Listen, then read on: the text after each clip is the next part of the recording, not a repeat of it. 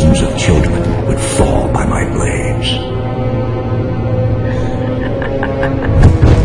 then the parents of Springwood came for me.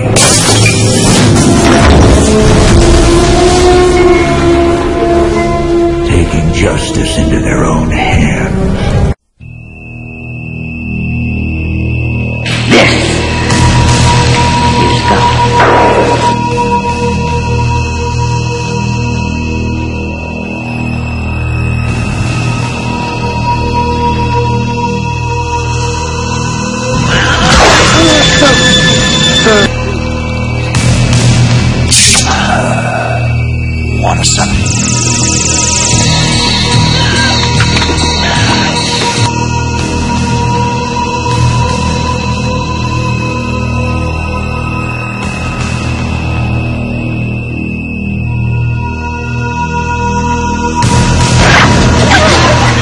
Bon